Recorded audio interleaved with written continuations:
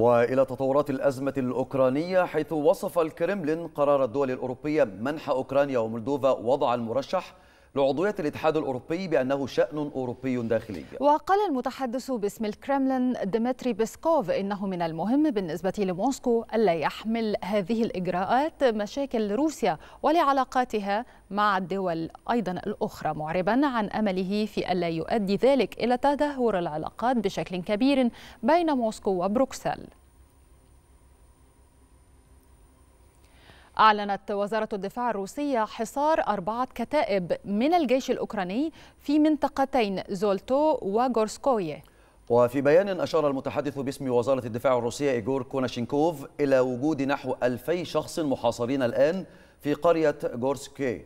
من بينهم 1800 عسكري وما يصل إلى 80 أجنبيا وأكثر من 40 وحدة من المركبات القتالية المدرعة بالإضافة إلى 80 بندقية وقذيفة هاون. بدورها أعلنت وزارة الدفاع الأمريكية الموافقة على المزيد من المساعدات العسكرية بقيمة تصل إلى 450 مليون دولار لتلبية احتياجات أوكرانيا الماسة في الأزمة. وفي بيان ذكرت وزارة الدفاع الأمريكية أنه بموجب تفويض رئاسي سمح بالسحب 13 من الأسلحة والمعدات في قوائم جرد من وزارة الدفاع إلى أوكرانيا. منذ أغسطس عام 2021 مضيفة أن القدرات العسكرية في هذه الحزمة تشمل أربعة أنظمة صواريخ مدفعية عالية الحركة و36 ألف قطعة من عيار 105 ملم و18 مركبة ومعدة أخرى.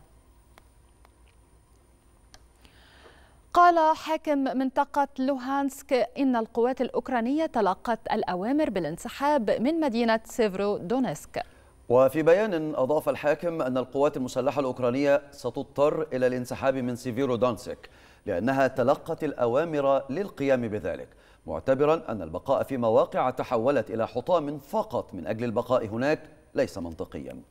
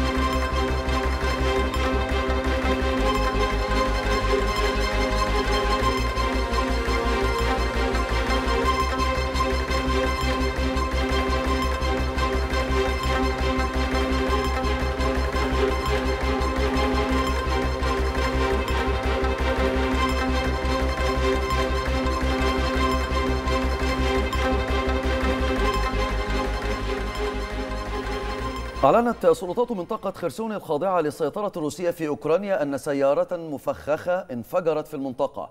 مشيرة إلى مصرع مسؤول أوكراني جراء الانفجار. وذكر بيان للخدمة الصحفية للإدارة العسكرية والمدنية في منطقة خيرسون أن التحقيق يجرى حاليا لمعرفة التفاصيل وتحديد المعلومات المتعلقة بالضحايا واصفا الانفجار بالهجوم الإرهابي.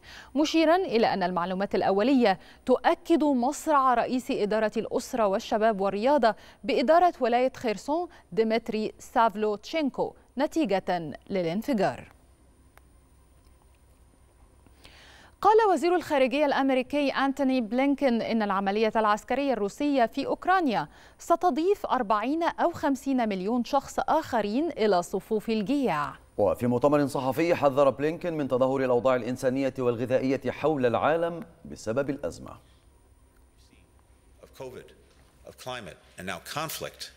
is creating an even graver crisis of food insecurity.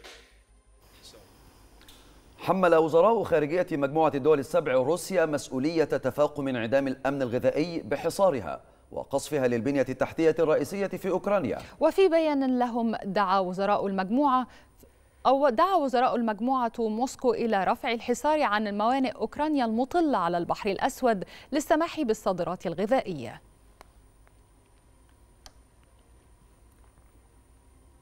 دعت المجر الاتحاد الأوروبي للتوقف عن سياسة العقوبات التي ينتهجها ضد روسيا والتركيز بدلا من ذلك على وقف إطلاق النار وبدء المفاوضات بين موسكو وكييف. وقال مستشار رئيس الوزراء المجري بلاج أوربان إنه كلما زادت العقوبات التي يفرضها الاتحاد الأوروبي زاد إلحاق الضرر بالكتلة بأكملها وستكون أوروبا في النهاية الطرف الخاسر بسبب المشاكل الاقتصادية. مضيفا أن بلاده تدعو الاتحاد إلى وقف هذا المسار.